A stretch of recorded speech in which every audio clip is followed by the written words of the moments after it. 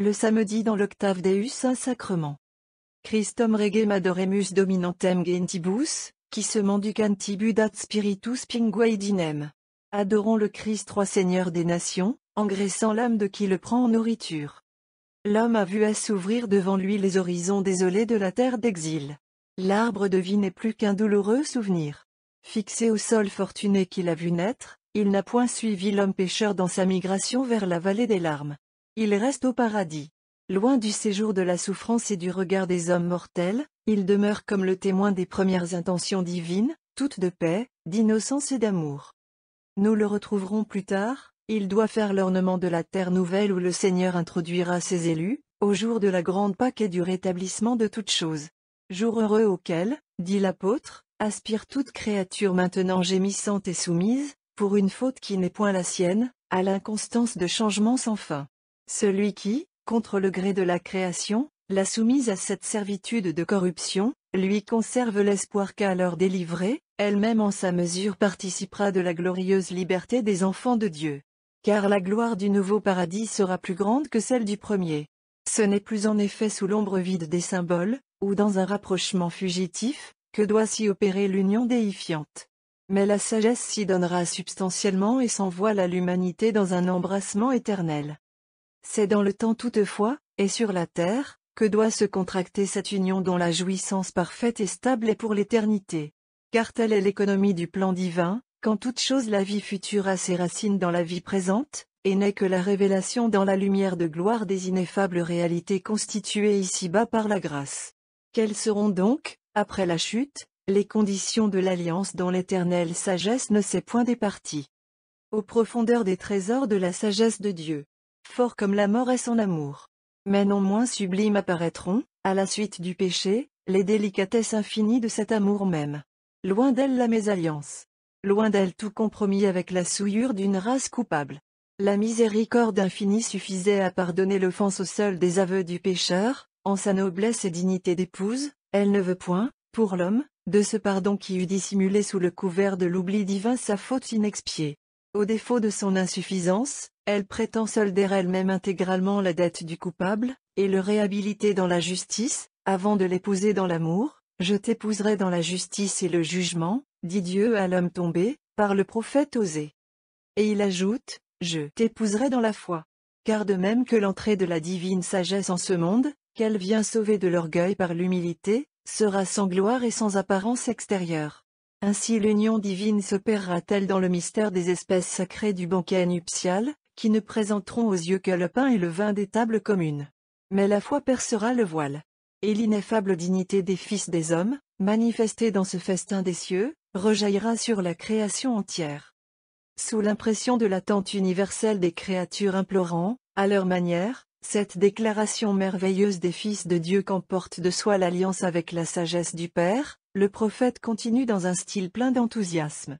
En ce jour-là, dit le Seigneur, j'exaucerai les cieux, et ils exauceront la terre, et la terre exaucera le froment, le vin et l'huile, et ceux-ci exauceront Jezraël, la race de Dieu, lui donnant avec le froment et le vin la matière des mystères, et par l'huile, le sacerdoce qui doit les transformer en la dot de l'alliance dans l'acte même du sacrifice. Car c'est par le sacrifice, et dans le sang, que doit se consommer cette alliance de justice et d'amour. L'Écriture rapporte que Moïse traversant un jour le désert, chargé d'une transgression légale, fut assailli par l'ange du Seigneur qui l'eut exterminé, si Séphora, l'épouse du chef futur d'Israël, n'eût conjuré la vengeance divine par la circoncision violente et précipitée de son fils Éliésée. Et, teignant de ce sang du fruit de ses entrailles les pieds du coupable, elle s'écriait. Vous m'êtes un époux de sang. Ainsi, et bien mieux, peut s'écrier à l'humanité la divine sagesse, car elle ne sauvera l'homme, et n'arrivera jusqu'à lui, que dans le sang de ce Fils de l'homme qui est elle-même. Mais loin de l'ébranler, il semble que cette perspective, qui mettra son amour en plus vive lumière, et encore augmenter son ardeur. Je dois être baptisé d'un baptême, dira l'homme Dieu plus tard, et quelle est la violence de mon désir jusqu'à ce qu'il soit accompli. Mais dès maintenant, et depuis que l'expiation est apparue comme la voie royale qui peut lui rendre humanité redevenue digne d'elle par l'effusion d'un sang divin sous le pressoir, la sagesse n'a plus d'autre pensée. Aussi trompera-t-elle d'ici là son impatience, en préludant par mille essais figuratifs à l'immolation du calvaire, et au banquet de la grande victime devenue le festin des noces. Son jardin, le lieu de délices, n'est plus pour elle le paradis, mais cette terre aride où plus que jamais l'homme a besoin de son amour. Ô chérubin, sentinelle vigilante, inexorable pécheur, protégez l'arbre de vie contre les retours de son désespoir, l'épée terrible, qui s'échappe de vos mains en jet de flamme, n'arrêtera point au paradis l'adorable sagesse. Elle rejoindra le genre humain dans son exil. Entendons-la, au livre de l'Ecclésiastique, chanter sa fuite miséricordieuse et célébrer ses expédients divins. Si elle était l'arbre, elle est de même le fleuve de vie. Or, dit-elle, comme un filet d'eau, comme l'écoulement d'un grand fleuve, ruisseau sans apparence, je suis sorti du paradis. J'ai dit, j'arroserai les plantes de mon jardin, j'enivrerai de fécondité ma prairie. Et voici que mon ruisseau a élargi à ses rives, et, devenu fleuve, il ressemble à une mer. Dès le point du jour, j'illumine tout de ma doctrine, et je la ferai retentir jusque dans le lointain des siècles. Je descendrai dans tous les abîmes, je visiterai tous ceux qui dorment, et j'éclairerai tous ceux qui espèrent dans le Seigneur. Cette vive lumière qui, dès le point du jour, illumine tout de la divine sagesse, est l'enseignement varié des prophéties ou figures divinement ordonnées dans la série des siècles, et projetant jusqu'au point de départ du genre humain l'ombre imposante du Messie. Par ce multiple enseignement, la sagesse se fait jour au milieu des nations chez les âmes saintes, réveille l'homme endormi dans le découragement, nourrit l'espérance en son cœur et tient ses regards tournés vers l'avenir. Les sacrifices sanglants, établis au seuil de l'Éden comme expression rituelle de la religion du premier âge, poursuivront l'humanité de cette divine lumière jusque dans les abîmes où l'entraînera plus tard l'égarement du polythéisme. Grâce à eux, si le fleuve des traditions primitives, traversant le temps et l'espace, doit se charger de nombreux éléments étrangers et rouler bien des scories, on le verra néanmoins porter fidèlement jusqu'au pied du Christ lui-même les désirs et l'attente non interrompue des nations. Lors même en effet que le serpent usurpateur aura détourné vers ses autels impurs la fumée de ses sacrifices qui n'étaient dus qu'au seul vrai Dieu, il ne se peut que cette expiation figurative des fautes de l'homme par le sang d'une victime innocente et pure, substituée au coupable, ne réveille plus d'une fois, dans l'âme la plus distraite, quelque notion du médiateur à venir. L'antique ennemi verra donc le culte des divinités de son invention prolonger lui-même en tout lieu, sur ce point important, les échos de la foi des patriarches représailles merveilleuses, et digne en tout de l'éternelle sagesse, comme au désert, la vue même du serpent, devenu pour le fils de Jessé le signe des peuples, aura guéri ceux qui s'étaient tournés vers lui de sa propre morsure. Car chez les cœurs droits de la gentilité, la sagesse achèvera dans l'amour l'œuvre de salut commencée par la puissance de ses divins rayons pénétrant ainsi jusqu'au sein de la nuit profonde. Ô racine de Jessé, racine de la sagesse du Très-Haut, qui vous connaît, qui pénétra jamais les artifices de votre amour. Vraiment l'emportez-vous sur la lumière. Car elle cède à la nuit, mais de vous ne triomphe point la noirceur du mal.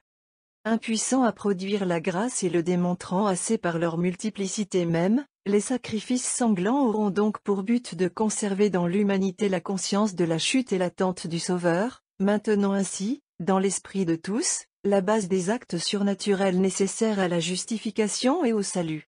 Mais les sublimes retouches apportées au plan divin depuis la chute ne seront point seules représentées dans ce rite important.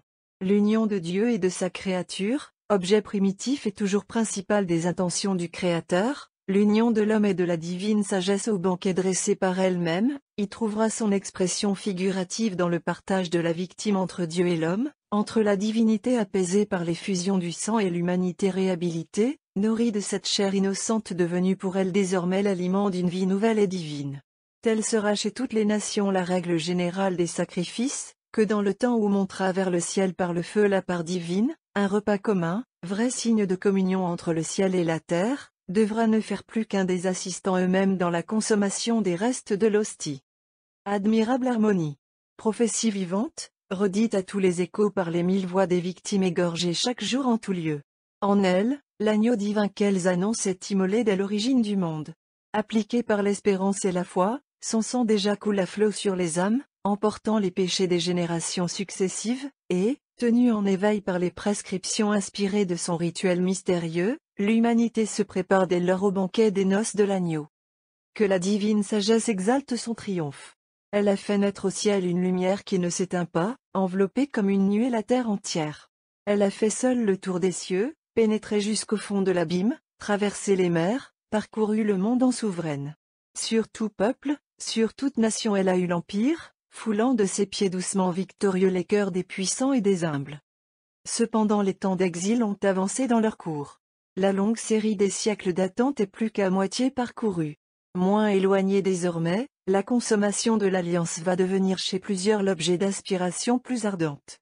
Et, comme se recueillant elle-même, l'adorable sagesse ambitionne le repos d'une préparation plus intime aux grandes œuvres qu'elle doit accomplir. Où s'arrêteront ses pas? Le Créateur de toutes choses lui a fait entendre sa voix toujours obéie. Le Père Très-Haut, qui la destine à ses élus dès le commencement, a fixé sa tente. Il lui a dit, habite en Jacob, et qu'Israël soit ton héritage. Ainsi prend-elle pied en Sion, pour se reposer dans la cité sainte et régner en Jérusalem. Jérusalem, ville de paix, théâtre prédestiné des merveilles de l'avenir, où déjà la douceur du Fils de la promesse portant sur ses épaules le bois de l'immolation, et remplacé par le bélier mystérieux sous le glaive paternel, avait marqué la montagne du vrai sacrifice, cité bénie, qui, dans le même temps, avait pour chef le roi pontife semblable au Fils de Dieu, Melchisédek offrant le pain et le vin de la future alliance, et révélant au Père des croyants, dont les regards inspirés plongeaient dans l'avenir, le grand jour du Christ son Fils. C'est là qu'au moment où les foules égarées n'adressent plus qu'au faux Dieu l'hommage de leur sacrifice, la divine sagesse se retire avec le peuple qui porte en ses veines le sang rédempteur. En lui du moins veut-elle maintenir les droits du Père, et garder toujours pure la lumière de l'espérance des nations. Par mille prodiges elle l'arrache aux joues égyptiens. Le festin de l'agneau pascal, égorgé le jour même où plus tard aura lieu la vraie scène du Seigneur et l'immolation de l'agneau divin, donne le signal de la délivrance et de la marche à travers les flots vers la montagne où se conclut, dans le sang des victimes, le pacte d'union qui fait de la maison de Jacob l'épouse de Dieu, la nation sainte et sacerdotale. Figure en toute chose du vrai peuple lui traversant le désert du monde, Israël s'abreuve aux eaux divinement sorties de la pierre qui est le Christ. Un pain tombé chaque jour des cieux soutient ses forces dans la fatigue de la route et des combats, et cette nourriture des anges s'adapte à tous les besoins, se prête à tous les goûts. Dieu même habite avec lui sous la tente. Et sur l'unique autel élevé devant ce tabernacle qui rappelle l'exemplaire montré sur la montagne, une famille choisie doit seule offrir, sous la direction du pontife suprême, les différents sacrifices légaux redisant en un multiple langage les circonstances variées de l'unique sacrifice signifié par eux tous. De cet autel, où brûle un feu qui ne s'éteint pas, monte sans interruption vers le ciel la fumée de la chair et du sang des victimes égorgées. Elles implorent la venue de l'hostie salutaire qui doit mettre fin à ces hécatombes. Tandis que les offrandes de farine et de vin, nécessaire accompagnement de l'Holocauste et de l'hostie pacifique, annoncent l'auguste mémorial qui doit de même prolonger et parfaire le divin sacrifice de la croix dans une application non sanglante. Rapprochement mystérieux, il est dès lors un sacrifice qui ne s'appelle pas autrement que de ce nom de mémorial, et c'est l'oblation isolée de la farine et des gâteaux ou pain de froment sans levain. Les douze pains de proposition toujours présents à l'intérieur du voile, comme chose sainte entre toutes, monument perpétuel de sacrifice et d'alliance, expriment aussi déjà non moins clairement la future présence eucharistique, maintenue dans l'Église sous les espèces sacrées, en dehors de la célébration des mystères. De même qu'il n'y a qu'un autel en Jacob, pour ramener dans l'unité la pensée vers celui qui doit être à la fois la victime et l'autel, ainsi n'y a-t-il qu'un seul lieu, le tabernacle et ses abords, et plus tard le temple et la ville sainte, où il soit permis de célébrer ces banquets sacrés de communion qui, chez tous les peuples, terminent le sacrifice dont ils font partie. Vous n'offrirez point vos victimes indifféremment en tout lieu, dit Moïse à son peuple une dernière fois rassemblé sous ses yeux dans les plaines du Jourdain. Mais toutes vos offrandes en victimes, prémices, dîmes et oblations volontaires, seront apportées au lieu que le Seigneur aura choisi pour y manifester sa gloire. C'est là que vous célébrerez le sacré banquet, en présence du Seigneur votre Dieu, vous, vos fils et vos filles, vos serviteurs et vos servantes, et les Lévites qui habitent vos cités. Et vous serez dans eau la joie, et vous recueillerez les fruits des bénédictions du Seigneur votre Dieu. La prospérité matérielle promise au peuple juif comme récompense de sa fidélité à garder les prescriptions figuratives de la loi du Sinaï, n'était elle-même que la figure des bénédictions divines qui devaient transformer l'âme, et la préparer à l'avènement de la divine sagesse en la chair. Mais Israël a peine à s'élever au-dessus des sens. Il s'offre comme une proie facile à tous les scandales des nations. Si, maté par la verge, il comprend enfin que l'unique salut est pour lui dans sa loi, c'est pour s'y enfermer comme en désespérer dans la lettre même des préceptes rituels, et n'y plus voir le sens principal qui est celui de l'avenir et du monde des âmes. Que deux fois cependant Dieu l'avertit par ses prophètes, et cherche à le ramener à l'esprit de l'institution première. Il se répand, dans les psaumes, en remontrant sous la douceur du Père absorbe encore ineffablement l'amertume de la plainte. Écoute, ô mon peuple, et je te parlerai, Israël, je t'instruirai de ma vraie pensée. Moi, ton Dieu, je ne te reprendrai point sur tes sacrifices, tes holocaustes sont toujours sous à mes yeux. Mais je n'ai besoin ni des veaux de ta maison, ni des boucs de tes troupeaux, toutes les bêtes de la forêt sont miennes, miens aussi les animaux des montagnes et les bœufs des prairies. Si j'ai faim, je ne te le dirai point, ah car l'univers est à moi et tout ce qu'il renferme. Mais mangerai-je donc la chair des taureaux, boirai-je le sang des boucs? Élève-toi jusqu'au sacrifice de louange, c'est dans cette voie que je te montrerai le Christ salut de Dieu. Mais plus tard, devant cette race à la tête dure, aux oreilles et au cœur incirconcis, s'enfonçant toujours dans le formalisme étroit où réside pour elle toute vertu, Dieu ne sait plus dissimuler le dégoût suprême que lui inspirent ces immolations auxquelles ne se rattache plus le sens prophétique, qui seul les relevait à ses yeux, qu'ai-je besoin de toutes vos victimes? s'écrie-t-il par Isaïe. Elles me sont nausée. Les holocaustes de vos béliers, la graisse de vos troupeaux, le sang des veaux, des agneaux et des boucs, je n'en veux plus. Qui vous a prié jamais d'en souiller mes parvis? Ne m'offrez plus à l'avenir ces vains sacrifices, votre ensemble est en abomination.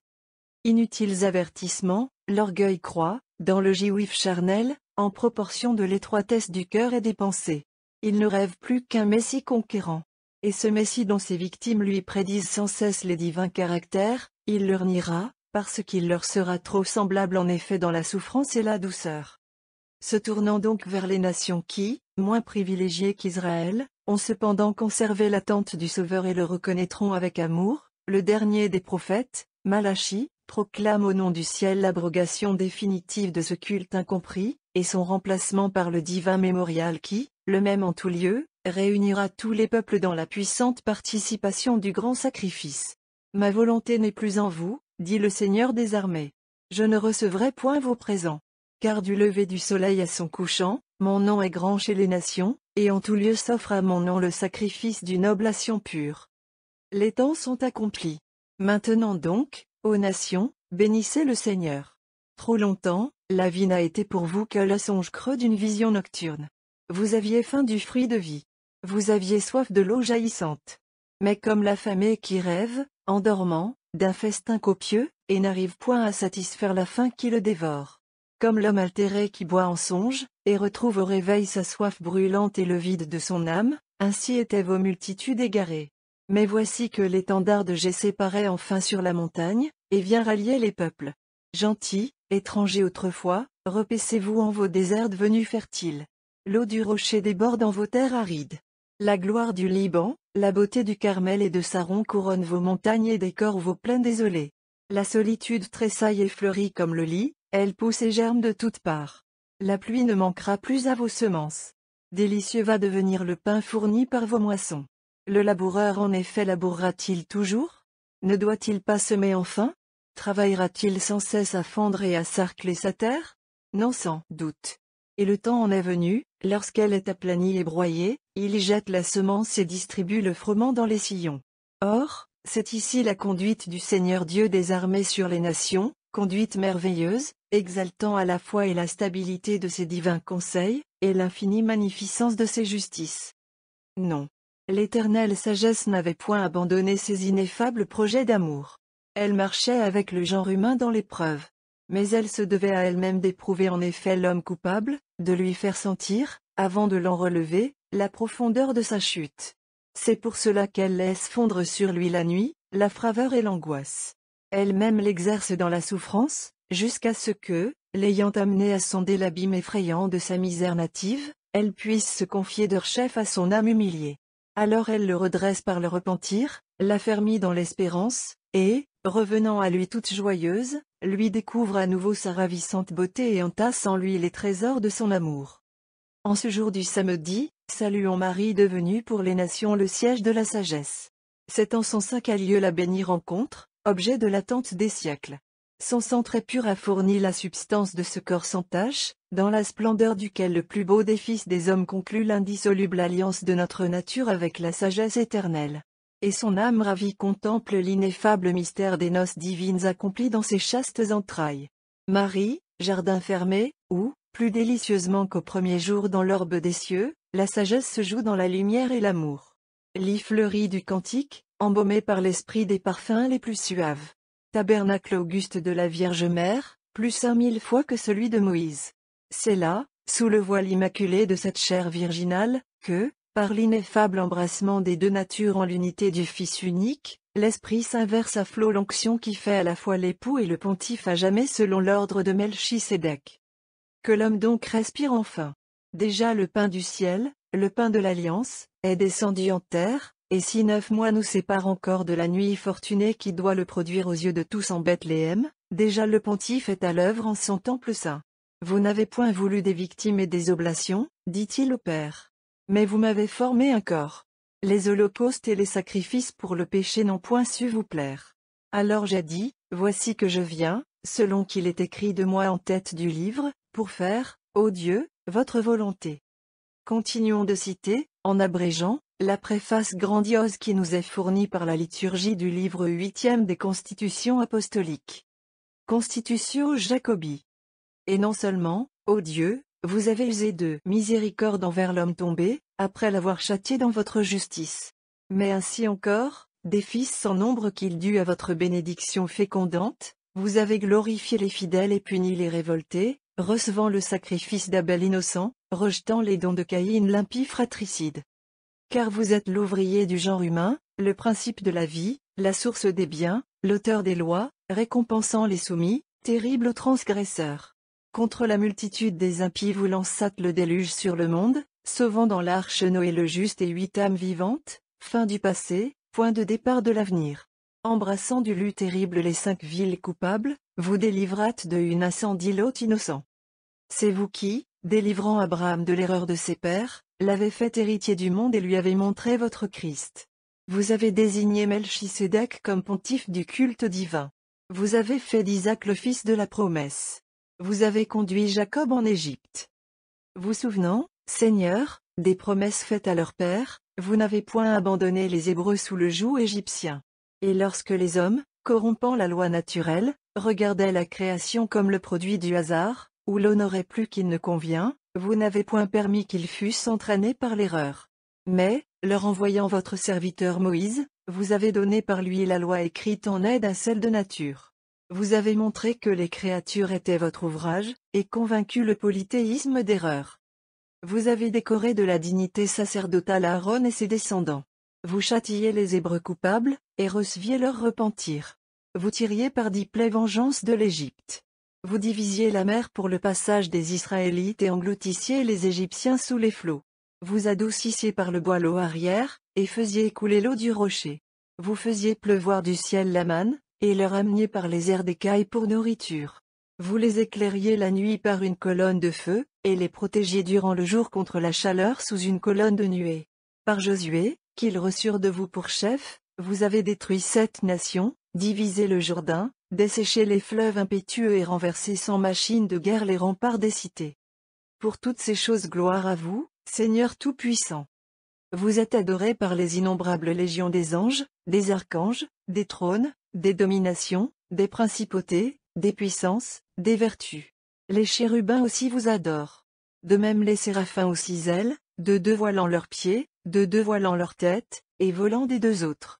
Sans cesse, avec les milliers nombreux des archanges et les myriades sans fin des anges, ils disent et proclament d'une voix éclatante et qui ne s'arrête jamais. Saint, Saint, Saint le Seigneur des armées, les cieux et la terre sont remplis de sa gloire, béni soit-il dans les siècles. Amen. Empruntons comme eux hier au missel ambrosien quelques-unes de ces antiennes de communion au temps après la Pentecôte. La première est celle-là même de la fête du corps du Seigneur. Transitorium. Nous voulons, Seigneur, Tout-Puissant, qui est assis sur les chérubins et les séraphins, que bénissent les anges et les archanges, que louent les prophètes et les apôtres. Nous vous louons dans la prière, Seigneur qui êtes venu dénouer les liens de nos péchés. Nous vous prions, grand Rédempteur envoyé par le Père comme pasteur des brebis. Vous êtes le Christ Seigneur et Sauveur, qui êtes né de la Vierge Marie. Nous qui prenons ce calice très saint, gardez-nous toujours de toute faute. Recevez avec crainte le sacrement des cieux, rassasiez-vous de la douceur du Christ. Le Seigneur nous a donné le pain du ciel. L'homme a mangé le pain des anges. Alléluia, Alléluia. Aimons-nous mutuellement. Car Dieu est amour. Celui qui aime son frère est né de Dieu, et il voit Dieu. Et la charité de Dieu est parfaite en lui. Or celui qui fait la volonté de Dieu demeure à jamais. Approchez de l'autel de Dieu. Purifiez vos cœurs, et soyez remplis de l'Esprit Saint, pour recevoir le corps et le sang du Christ en rémission des péchés. Seigneur, ô Père, donnez la paix aux prêtres et aux lévites qui rompent le corps du Seigneur. Donnez la paix à nos rois et leur peuple recevant le corps du Seigneur. Alléluia, Alléluia, Alléluia. Rassemblez tous par le parfum du Christ, venez, rassasiez-vous de sa douceur. Nous terminerons aujourd'hui nos emprunts à l'office de la bienheureuse Julienne par l'hymne suivante, assigné pour l'office des complis dans les anciens livres de l'église Saint-Martin au Mont. Hymne. Le Christ est vraiment notre nourriture, il est vraiment notre breuvage. Sa chair est pour nous un aliment réel, et son sang nous abreuve en vérité. C'est sa vraie chair que nous recevons, cette chair qu'il a prise de la Vierge. C'est son vrai sang que nous buvons, ce sang qu'il a versé pour l'homme. Dans ce festin, c'est du Verbe fait chair que nous sommes nourris, du Verbe sur qui repose le culte de Dieu, du Verbe qui nous ouvre le ciel. Ce pain renferme la plénitude de la douceur et de la grâce. C'est le roi de l'éternelle gloire, celui que la Vierge porta dans son sein. Engraissons-nous de la substance de ce pain angélique. Délectons-nous dans la douceur de ce miséricordieux viatique. Ô festin céleste, ô gloire des rachetés, au repos des cœurs humbles, conduis-nous aux joies éternelles. Daigne, ô Père, par ton Fils, par ton Esprit puissant, conduire à la fin bienheureuse ceux auxquels ici-bas tu donnes un tel